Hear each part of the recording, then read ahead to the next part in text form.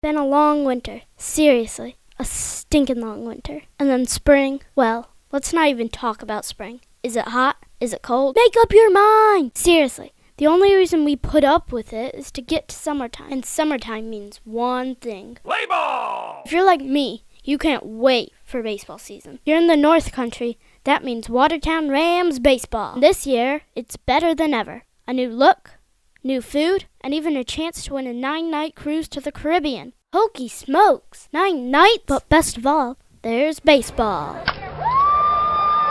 June 5th is opening night.